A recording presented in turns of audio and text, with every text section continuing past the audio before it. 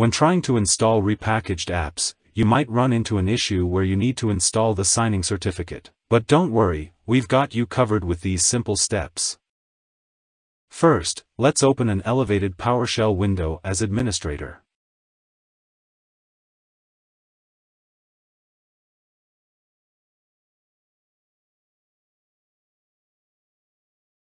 Once you've got that open, go ahead and execute set execution policy remote signed.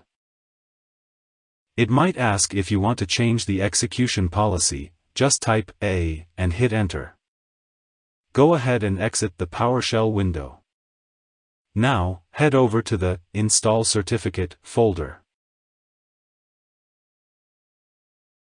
Right-click on Install Certificate.ps1 and select Open with PowerShell. You might be prompted again to execute the script, just type A and hit enter.